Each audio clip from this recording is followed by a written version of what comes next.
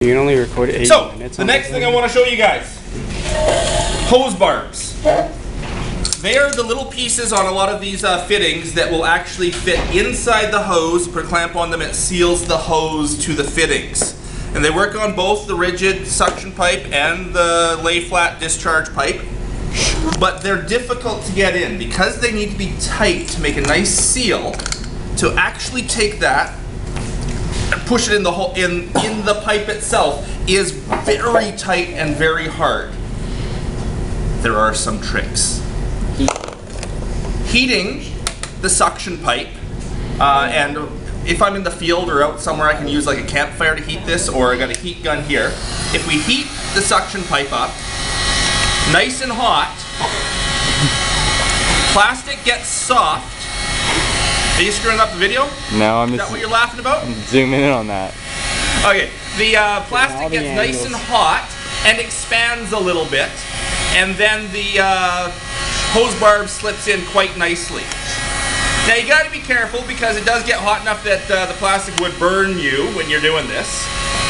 So when you're sort of testing it to see how hot it is, you just have to make sure it's not so hot that you're gonna get yeah squeal in pain afterwards.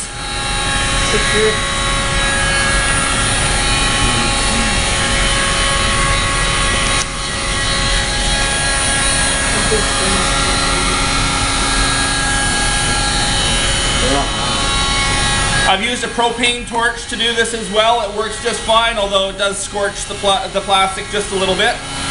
Oh, she's getting hot now. Oh yeah.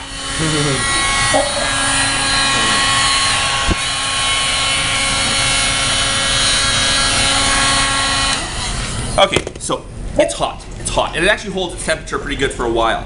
The other trick is to use a little tiny bit of grease on that hose barb itself. Oils work, grease work. Now you don't like grease and oil around gold mining equipment because um, if you ever get any grease or oil on gold, it floats and goes away. So you don't want to add a whole bunch and you definitely don't want to have it like dripping down inside the pipe, but a little tiny bit on that hose barb will help it slip in. A little bit of heat to soften that plastic, a little bit of grease or oil,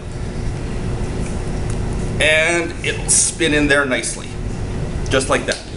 Now, one thing I didn't do is I didn't put a clamp on first. It is easier if you slide the clamp on first rather than doing it after the fact, but you can open up these clamps and slide them on after the fact. Is that enough? There we go. And bring a flat screwdriver over. Can someone grab me a flat screwdriver there, please? Thought I had one.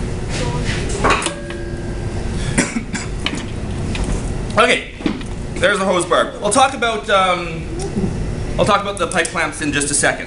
Put hose barbs onto lay flat pipe. You don't have to heat it up, but a little bit of grease does help. Here's a different type of hose barb. We'll use that instead on this one. Little bit of grease, not much, not much. And really you only have to put it on the barb part, the little raised part there. It doesn't need to be much, just needs to be enough to let it slip in. Get it in there. And right on, just like that. Take that off for a second. Put a hose clamp on there. Is that the right size hose clamp? That's the wrong size hose clamp. There's the right size hose clamp. And slip that on. Just like that. Okay.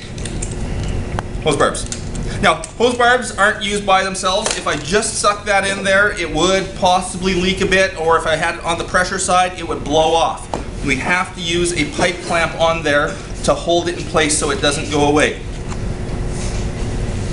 You can use two. Often people will put two pipe clamps side by side, gives them a bit more protection against one failing or it slipping off. But on most of my equipment, I just use one.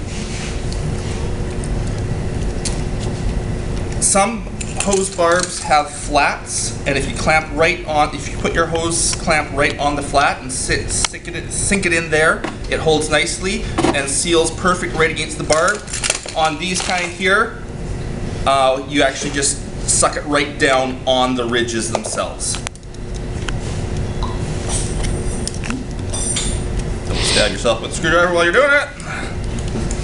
That might not be a good thing. Yes, it does hurt. Okay.